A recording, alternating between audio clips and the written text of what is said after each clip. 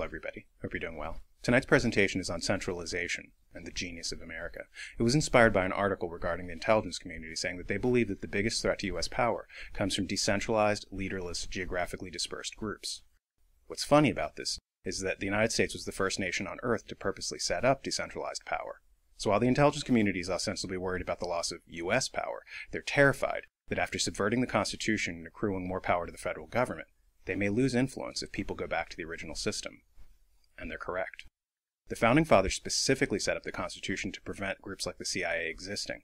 They saw the example of ancient Greece as their template. The Greek world had no capital. Each city state was sovereign within its own jurisdiction. Because of this system, there was no centralized taxation authority. The Greek middle class grew larger and amassed greater wealth. The very word education comes from the Greek word for leisure time. In other words, with all the extra leisure time, they were able to develop science, philosophy, drama, etc. The Greek world collapsed once Alexander the Great conquered it and centralized everything. Once that was accomplished, a very small group of men in a centralized position could rob the middle class and amass wealth for themselves via taxation. As taxes rose and rose and rose yet again, the average Greek had less leisure time, as he had to work more hours to pay higher taxes. Suddenly, there was less time for inventions, philosophy, art. Greek civilization went into decline. The Founding Fathers, seeing all the examples of history, decided to set up a government with an incredibly weak federal system, with most of the power vested in the states. Under this system, America's wealth exploded. It became the richest, most powerful nation on earth.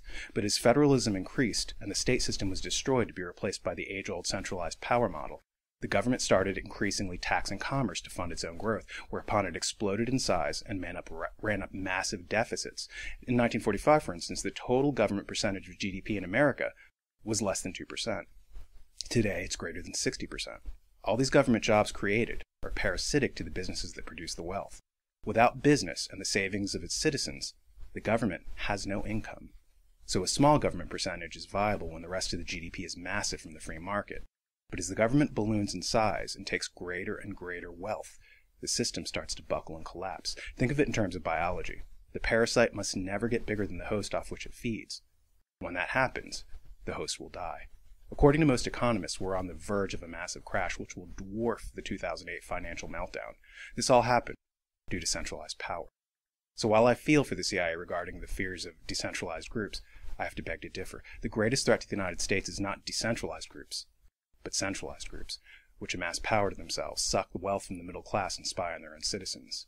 Their influence on the U.S. economy has been catastrophic. When the U.S. finally collapses, it will not have been due to decentralized groups, but due to centralized power. And let's not forget what the CIA stands for the Central Intelligence Agency. They can only exist in an atmosphere of centralized power.